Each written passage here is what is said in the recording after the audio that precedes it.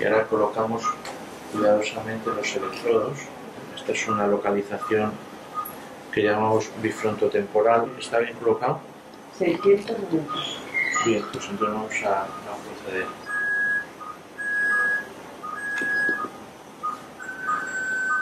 Ahora está pasando la, la descarga eléctrica. Julio sufre un trastorno depresivo que no se ha podido solucionar con medicamentos.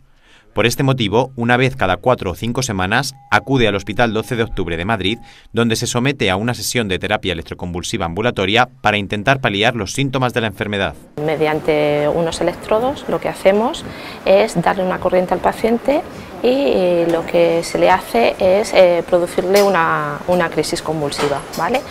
Eh, para bueno, pues, eh, revertir el proceso. Y bueno, pues es muy muy favorable para aquellos pacientes que tienen trastornos afectivos ¿vale?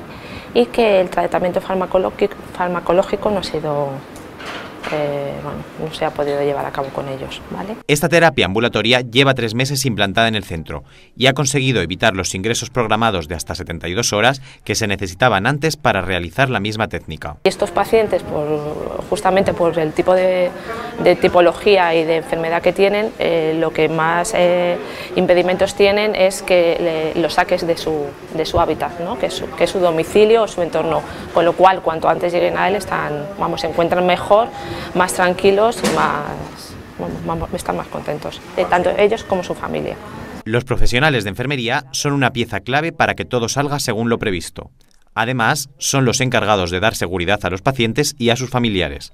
Las sesiones también cuentan con la participación de un psiquiatra y un anestesista. El papel de la enfermería es en todo momento darle seguridad al paciente darle seguridad al paciente, darle seguridad a la familia y que por el tipo de procedimiento pues evitar que se pueda hacer daño. Por una parte, enfermería se encarga de todo lo que sería esa preparación, ¿vale? Psiquiatría se encarga de bueno, pues una evaluación del paciente y coordinar todo lo que está pasando y el compañero anestesiólogo anestesiar una anestesia general del paciente y una absoluta relajación muscular. La efectividad de la técnica llega hasta el 90% en los casos de depresión psicótica.